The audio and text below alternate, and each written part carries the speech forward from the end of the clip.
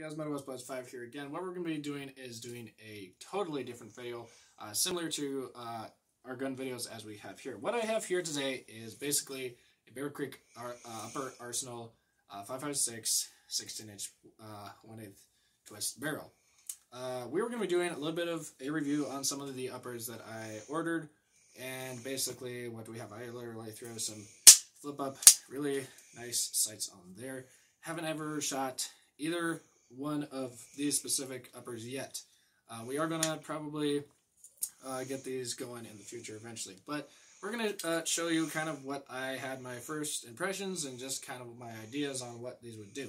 So these are just stock parts. The only difference I really did was write the numbers, the 556 down there in case if I was to throw a blackout on my lower um, eventually so I don't accidentally put the wrong bullet in the wrong chamber. This is the same thing, 556, except it's a 1 8 twist. No, 1 7th twist. That was a 1 8 This one's a 1 7th, a different muzzle brake on it. Uh, same rail sort of deal, aluminum. Uh, same 5.5 um, number on there that I wrote. That way you don't mix up. Uh, what is the problem with this? Well, first off, I can't accept a crooked aligned uh, barrel with your rail. How does that happen? Was it my problem? Nope, it was not my problem. When I got this, I looked at it, I'm like, what, what, wait, what? Is this just one that, I mean, how do you mess up a $270, by the way, these are $270 uh, each for every single one of these. And I go, this must have been once out of a million that they would do this. I've seen a lot of videos on good Bear Creek Arsenals.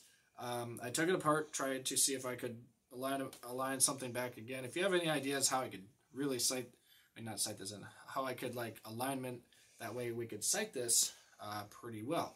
This was the first one. I thought, you know what, I don't need a 1 8 twist. I'll just be my speed shooting gun, you know, kind of blink around sort of deal. Well, you don't want to get way too cheap of uppers, in my opinion.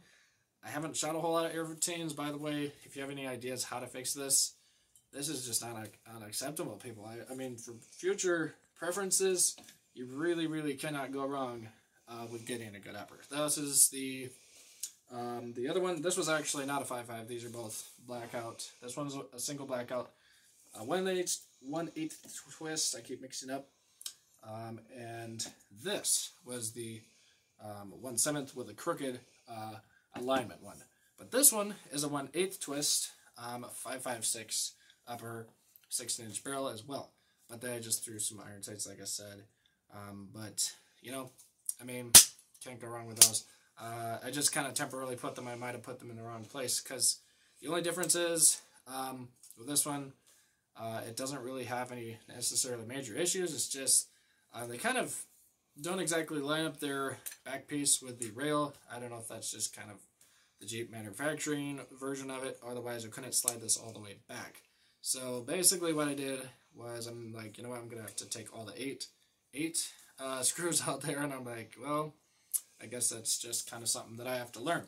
Uh, so, yeah, we'll be getting these going pretty soon. Uh, not necessarily in the future really quick, but eventually sometime. Um, so, yeah, those are my first impressions. If you have any ideas on how that crooked upper was ever manufactured, maybe it was just once in a million, like I said, uh, this is the blackout I keep mixing up. These two are the 5.5s uppers. And another thing is if you're ever going to buy one of these, make sure if you have, let's say, your uh, cover, if that pin is too long, just leave it.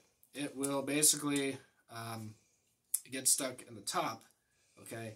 Because my other, the other one that we had, um, basically uh, my brother's, it's not right here right now, but uh, the pin, little knob right there to hold this closed was too long. So I might have pushed it down with some pliers, just standard pliers, and it doesn't come back up. So we're like, you know what, that's not necessarily a giant issue, but you cannot go wrong necessarily with, you know, a hit and miss sort of $270 upper 16 inch in my opinion.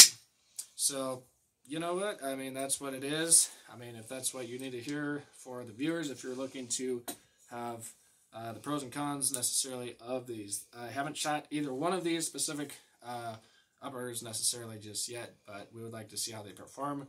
Uh, and let me know what you would like to see uh, in the airgun uh, versions of our video on our channel, Midwest Boys 5. We'll see you next time.